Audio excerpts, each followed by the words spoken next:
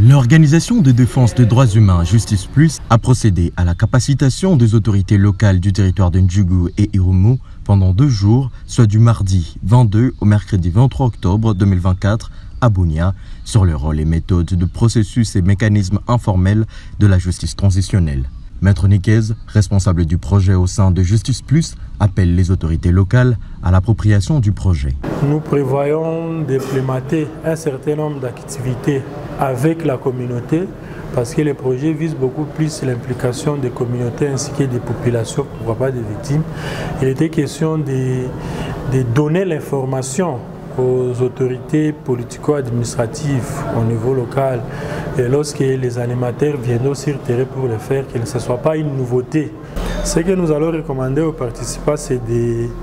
de s'ouvrir, de s'approprier les, mécanismes de la justice traditionnelle et d'amener aussi les communautés à pouvoir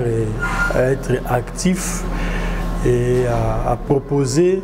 des, des, voies de sortie pour que les, les, cycles de violence que nous connaissons dans nos milieux ne puissent pas se poursuivre, ne puissent pas se continuer, que nous puissions rompre avec ces agissements-là, soit ces, ces, ces, actes de violence. Pour leur part, le chef de chefferie et les membres de la société civile, ce processus est indispensable pour une paix durable. L'appréciation est très bonne puisque pour nous, ce que nous avons réussi ici dans une nouvelle notion d'air pour nous, euh, la justice traditionnelle, ça nous a beaucoup plu puisque ça nous a euh, donné une autre lumière par rapport à la justice. Euh, vous, vous, savez, c'est l'ensemble des mécanismes judiciaires et non judiciaires pour amener aussi à lutter contre l'impunité, mais aussi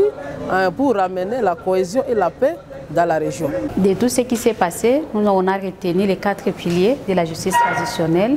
qui sont les droits à la vérité, les droits à la justice, les droits à la réparation et les droits à la garantie de non-répétition. C'est que toute personne victime a droit à ces quatre piliers. Pour la province de retour et la justice traditionnelle, elle est tellement importante, vu que nous sommes en train de vivre les crimes les victimes doivent savoir pourquoi ces crimes rebondissent toujours à province de Litour et ces auteurs doivent aussi être réprimés. Ceci rentre dans le cadre du projet Appropriation et leadership communautaire pour une justice transitionnelle transformatrice en Uturi et au Nord Kivu avec l'appui financier de l'ambassade de Pays-Bas exécuté par les consortiums Impunity Watch, Justice Plus et Avocats sans frontières qui assurent les leads.